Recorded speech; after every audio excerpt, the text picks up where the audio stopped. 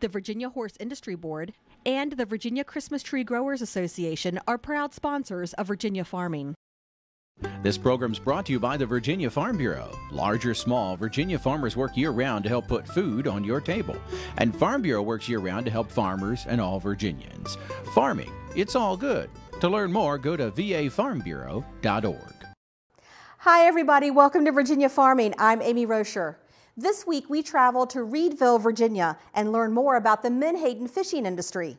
These fish are wild caught, so they're not considered part of our aquaculture commodities but it's a story with a lot of history and significance to our Commonwealth. I hope you enjoy this special edition of Virginia Farming.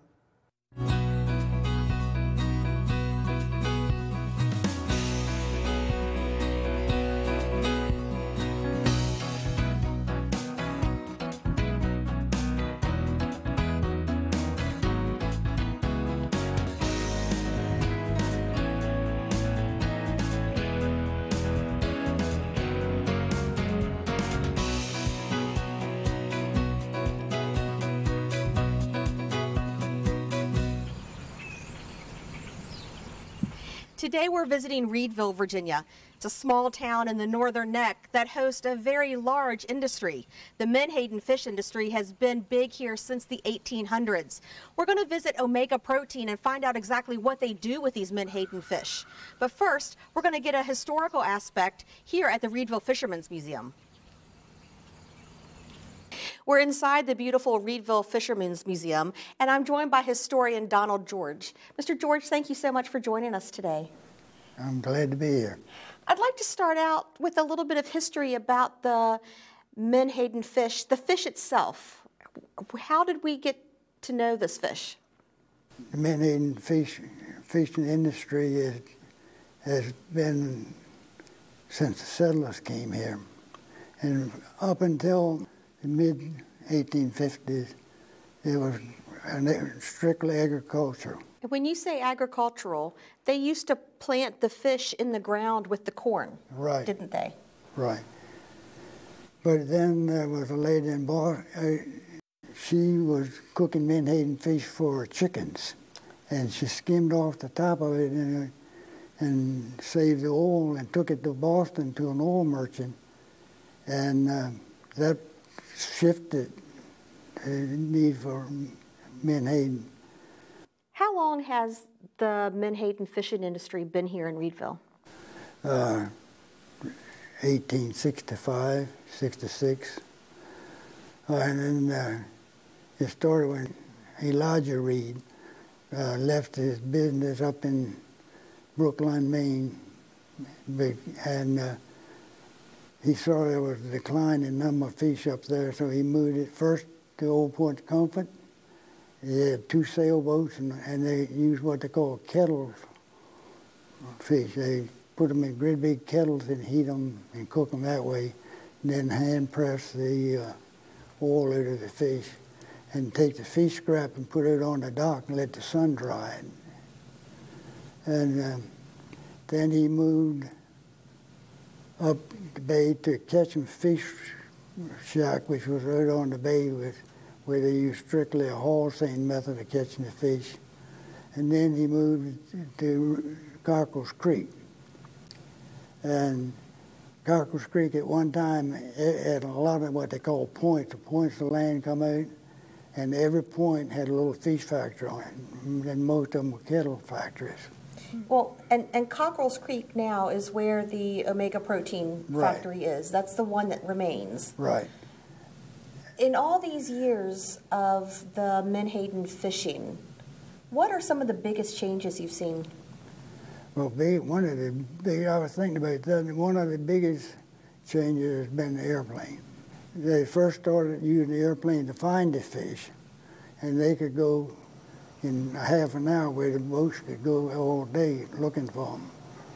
And secondly, I would say was nylon net.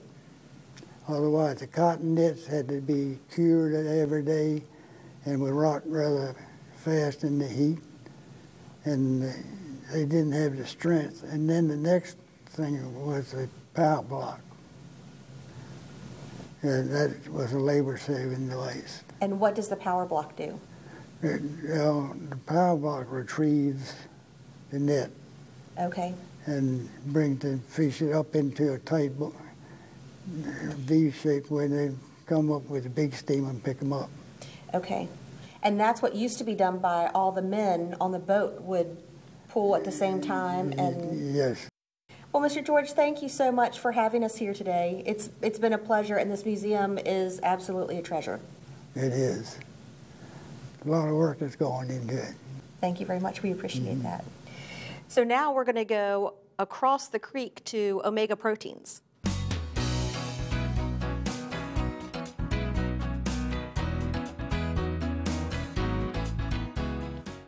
Well, here we are at Omega Protein on the Cockrell Creek here in Reedville, and I'm joined by Director of Fishing Operations, Monty Deihl. right. Monty, thanks so much for having us out today. Uh, thanks for visiting.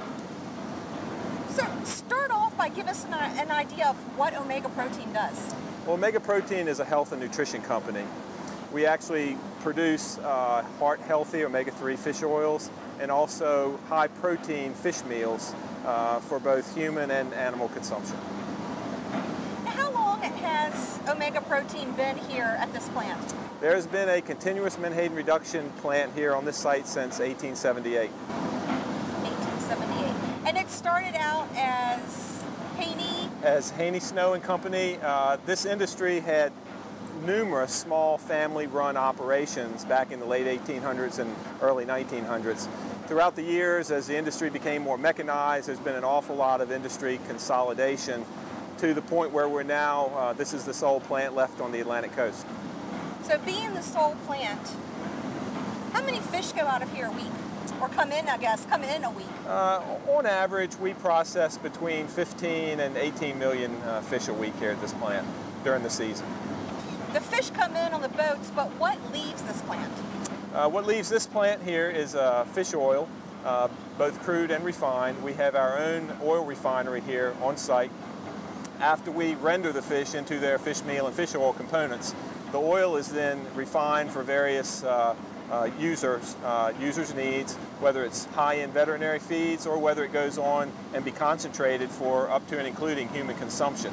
And then we have a fish meal product that's very high in, in protein that's used for livestock feeds, uh, uh, pet, pet feeds, as well as aquaculture feeds.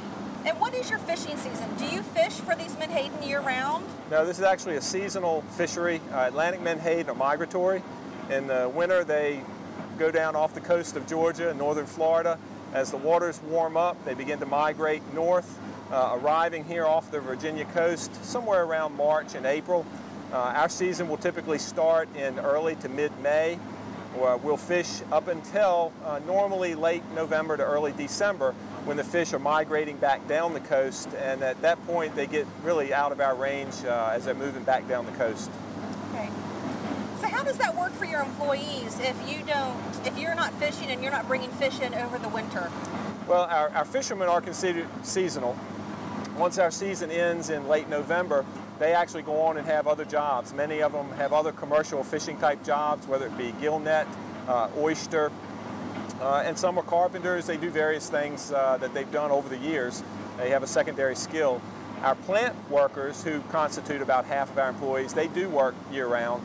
Uh, at that point, we'll use that what we call off-season time to tear down our equipment, rebuild what we need to, to do, as well as our vessels, haul our vessels, and perform scheduled maintenance on them so that when May comes around, we're ready to, to start all over again. You guys fish from where to where?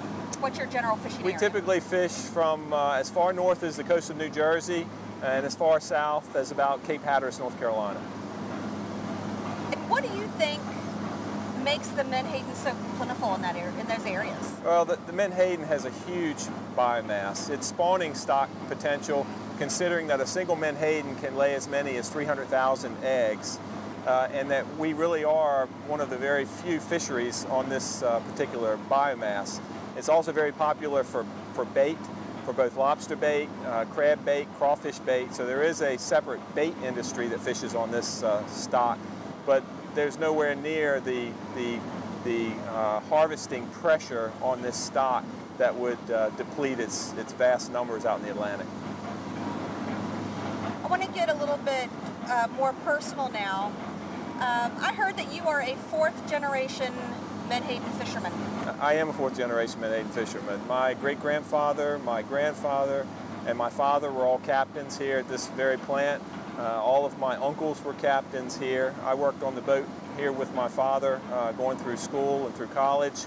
Uh, after college, I went into the Air Force and retired uh, out of the Air Force as an officer uh, and found myself back here.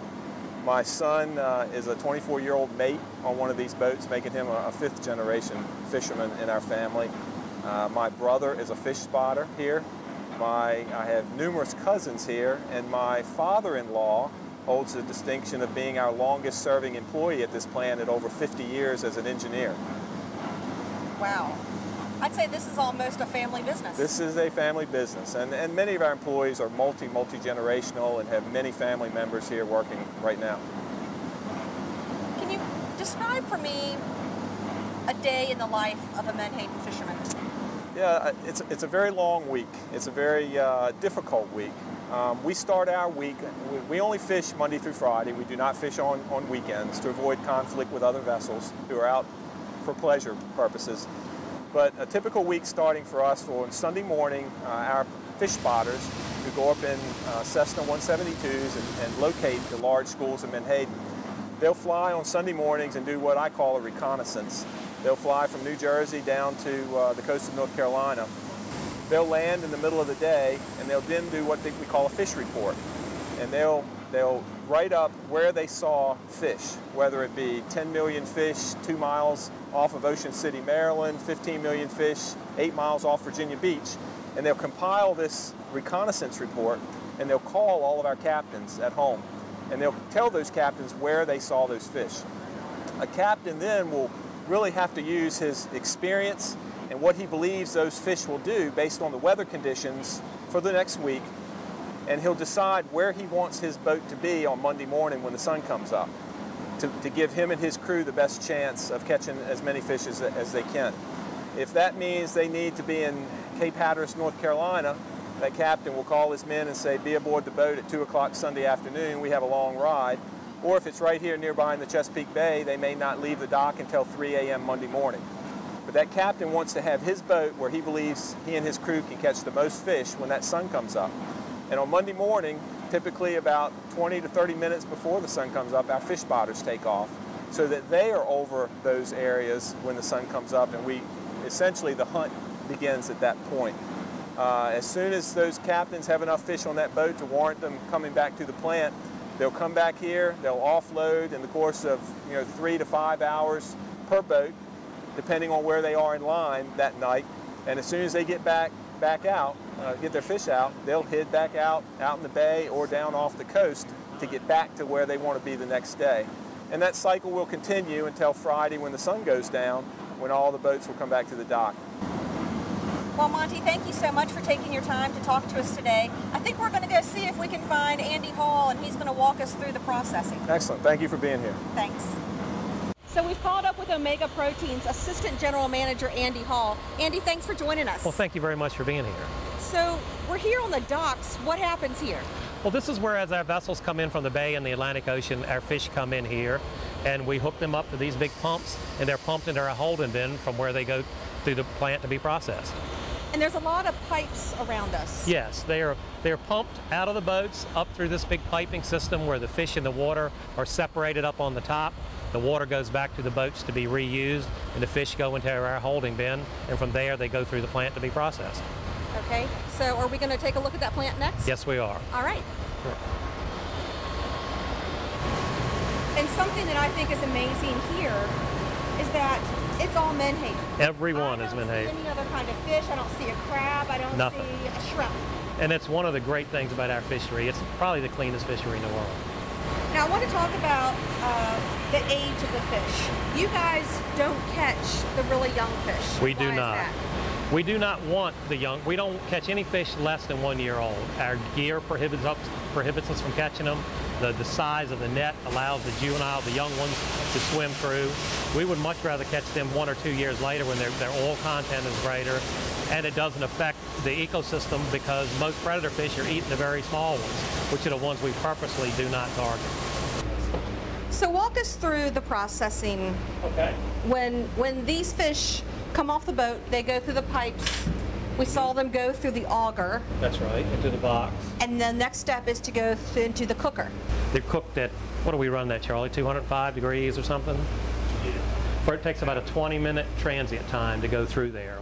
Once they come through there in 20 minutes, they're cooked. So then what happens is all of this fish musk, each cooker is attached to its own individual, it's a screw press. It- It's really just something that takes a volume that's one by one foot and compresses it to a volume that's three inches by three inches. And the whole time it's compressing it, that material is surrounded by a very fine stainless steel screen, so the liquid is being extruded out. After the press, we now have two products. We have a solid product, that's the flesh, the bones, the scales, every part of the fish. The other side is the liquid side that has water and oil, blood, whatever liquid came with the fish, and we handle those two product lines separately. The oil and water is still mixed Okay. and some dissolved solids, some very fine solids that comes through that screen. So we have this group of decanters up here. So all of that liquid water and oil mixture still is pumped through those decanters and it removes the solids. Still doesn't do anything with the oil. And we have another whole separate process over there that makes the oil water separation, some high speeds. The way we produce our oil is we batch it. We run until we fill this tank up with oil. Then we do a QC analysis of it and we report it to Jane over at HSC. And she'll say, okay, Andy, tank three goes to tank 75. And we have a, a tank farm operator who comes and pumps that number three tank to tank 75. From then on, it's HSC's. It's HSC's oil then. So the fishes have been pressed, and the oil and water are going to one area. Mm-hmm. What about what about the solids? The solid material has, has a two-step drying process.